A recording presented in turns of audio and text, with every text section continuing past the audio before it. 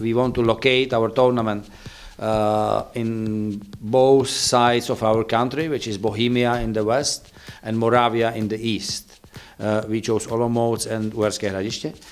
In both cities there are first division clubs, Sigma Olomouc here and uh, uh, first FC Slovácko in, uh, in UH. Which is giving us the, the good uh, infrastructure, good, good professional team in the venue, and of course the chance to attract the people in the region.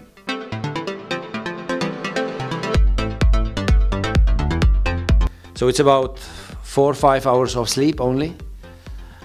Uh, in the morning there is a there is a briefing with my core team which is my deputy and uh, our head of office then uh, of course th this is the, the daily procedure so management uh, and then every day at nine o'clock we have a, we have a daily briefing with UEFA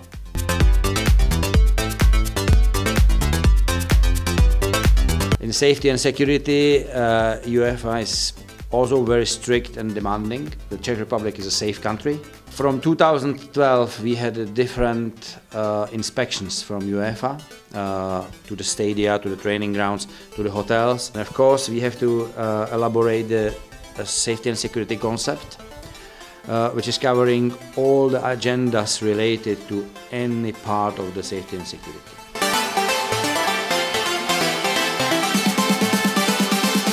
This tournament is broadcasted by many TV companies and, and TV channels to uh, four other continents except Europe.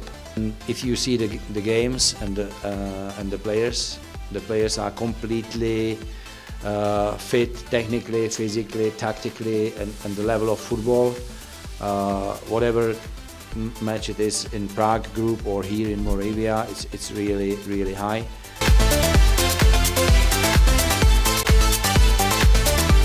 About our ticketing concept, uh, which was from the very beginning uh, orientated to the highest attendance uh, in the stadia.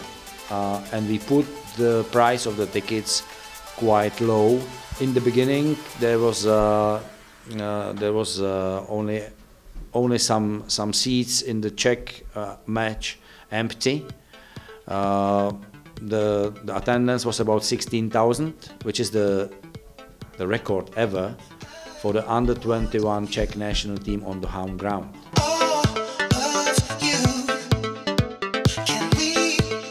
We would love to organize the, the Euro like uh, Portugal Euro 2004. There are plenty of positives this tournament is bringing to Czech Republic, including that the, uh, the fans from your countries are coming and uh, they are having a good time here the hottest favorite for 2024 is Germany. Um, and uh, we would have to build new stadia and join with some neighboring country, Slovakia, Austria, Poland. Uh, so it's really, really difficult.